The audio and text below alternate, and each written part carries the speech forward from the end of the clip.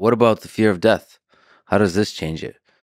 Again, to me, death is when I stop experiencing. And I, I never wanted to stop. I want I want to live forever. As I said last time, every day, the same day forever, mm-hmm. or one day every 10 years forever.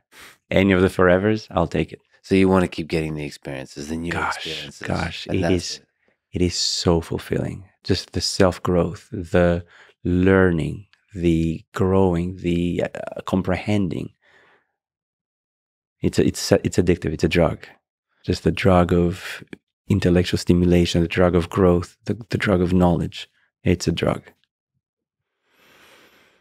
But then there'll be thousands or millions Manolises that live on after your biological system is no longer. More power to them.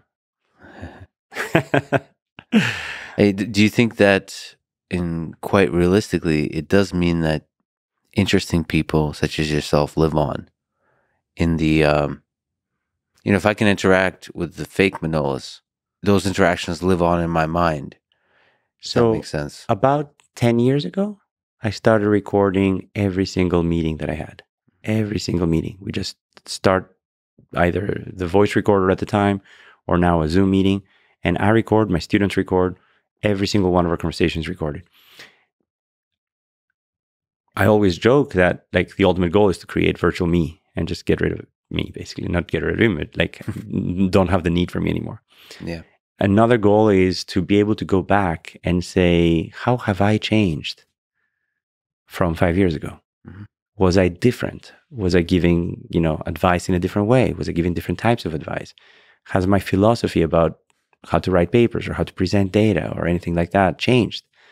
And I, you know, in in academia and in mentoring, a lot of the interaction is my knowledge and my perception of the world goes to my students, but a lot of it is also in the opposite direction. Like the other day, I had a conversation with one of, one of my postdocs, and I was like, "Hmm, I think you know. Let me give you an advice. You could you could do this." And then she said, "Well, I've thought about it, and then I've decided to do that instead." And we talked about it for a few minutes, and then at the end, I'm like, "You know, I've just grown a little bit today. Thank you." Like she convinced me that my advice was incorrect.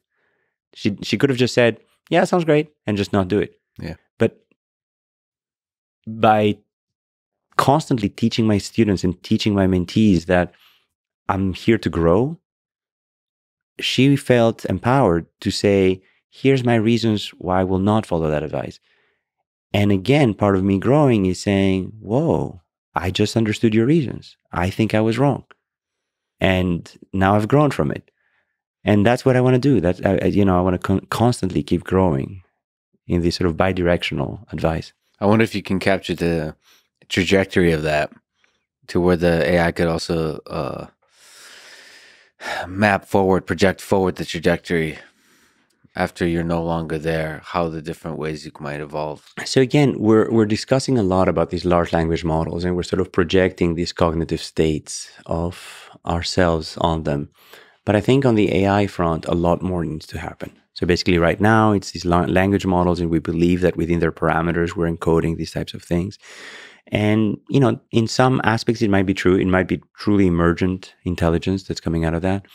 In other aspects, I think we have a ways to go. Mhm. So basically, to make all of these dreams that we're sort of discussing come come reality, we basically need a lot more reasoning components, a lot more sort of logic, causality, models of the world, and I think all of these things will will need to be there in order to achieve what we're what we're discussing, and we need more explicit representations of these knowledge, more explicit understanding of these parameters, Mm, and and I think the direction in which things are going right now is absolutely making that possible by sort of enabling you know ChatGPT and GPT-4 to sort of search the web and you know plug and play modules and all of these sort of components. In uh, Marvin Minsky's The Society of Mind, he, you know he truly thinks of the human brain as a society of different kind of capabilities, and right now a simple a single such model might actually not capture that and I, I sort of truly believe that by sort of this side by side understanding of neuroscience and sort of new neural architectures that we still have several breakthroughs. I mean, the transformer model was one of them, the attention uh, sort of aspect, the uh, you know memory component, all of these, you know, the representation learning, the pretext training of being able to sort of predict the next word or predict a missing part of the image. And the only way to predict that is to sort of truly have a model of the world. I think those have been transformative paradigms. But I think going forward, when you think about AI research, what you really want is perhaps more inspired by the brain, perhaps more that is just orthogonal to sort of how human brains work, but sort of more of these types of components. Well, it's, I think it's also possible there's something about us that uh, in different ways could be expressed. You know, Noam Chomsky, you know, he wants to, you know, we can't have intelligence unless we really understand deeply language, the linguistic underpinnings of uh, of uh, of reasoning. But these models seem to start building deep understanding of stuff. Yeah. Because yeah. what what does it mean to understand? Because if you keep talking to the thing and it seems to yeah. show understanding, that's understanding. It doesn't need to present to you a schematic of look. Yeah. This is all I understand. You can just keep prodding it with prompts and it seems to really understand. And you can go back to the human brain and basically look at places where there's been accidents. For example, the corpus callosum of uh, some individuals, you know, can be damaged. And then the two hemispheres don't talk to each other. So you can close one eye and give instructions that the uh, that half the brain will interpret, but not be able to sort of pro- project to the other half. And you could basically say, you know, go grab me a beer from the fridge, and then you know they go to the fridge and they grab the beer and they come back and they're like, hey, why did you go there? Oh, I was thirsty. Mm-hmm. Turns out they're not thirsty. They're just making a model of reality they're uh, basically you can think of the brain as the employee that's like afraid to do wrong or afraid to be caught not knowing what instructions were where our own brain makes stories about the world to make sense of the world and we can become a little more self-aware by being more explicit about what's leading to these interpretations so one of the things that I do is every time I wake up, I record my dream. I just voice record my dream. Mm. And sometimes I only remember the last scene, but it's an extremely complex scene with a lot of architectural elements, a lot of people, etc. And I will start narrating this. And as I'm narrating it, I will remember other parts of the dream. And then more and more I'll be able to sort of retrieve from my subconscious.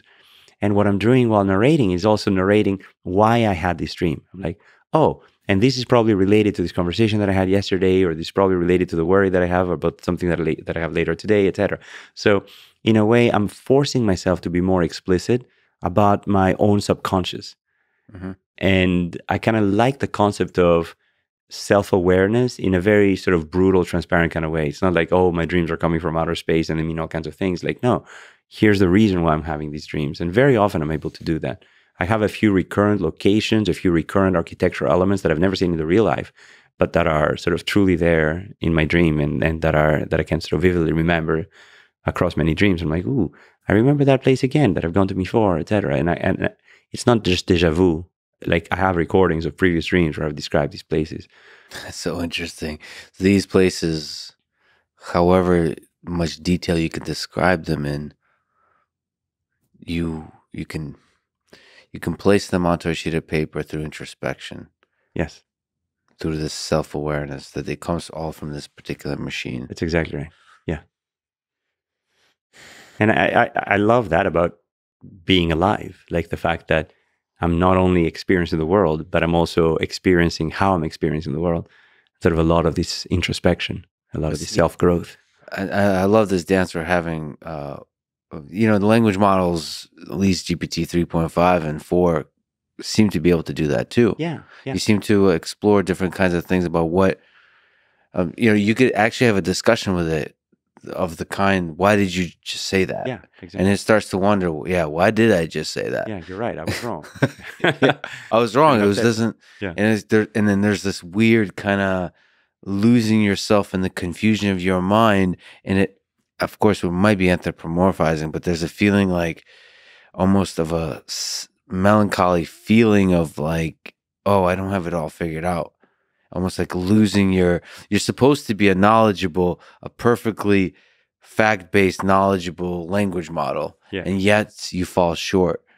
so human self consciousness, uh, in in my view, may have arisen through building mental models of others. This whole fight or fright kind of thing uh, that that basically says, I interpret this person as about to attack me, or you know, I can trust this person, etc. And we constantly have to build models of other people's intentions. And that ability to encapsulate intent and to build a mental model of another entity is probably evolutionarily extremely advantageous because then you can sort of have meaningful interactions, you can sort of avoid being killed and, and, and being taken advantage of, etc. And once you have the ability to make models of others, it might be a small evolutionary leap to start making models of yourself. So now you have a model for how other functions, and now you can kind of, as you grow, have some kind of introspection of, hmm, maybe that's the reason why I'm functioning the way that I'm functioning. And maybe what ChatGPT is doing is in order to be able to again predict the next word, it needs to have a model of the world. So it has created now a model of the world. And by having the ability to capture models of other entities, when you say, you know, say it in the tone of Shakespeare, or in the tone of Nietzsche, etc., you suddenly have the ability to now introspect and say, why did you say this? Oh, now I have a mental model of myself. And I can actually make inferences about that.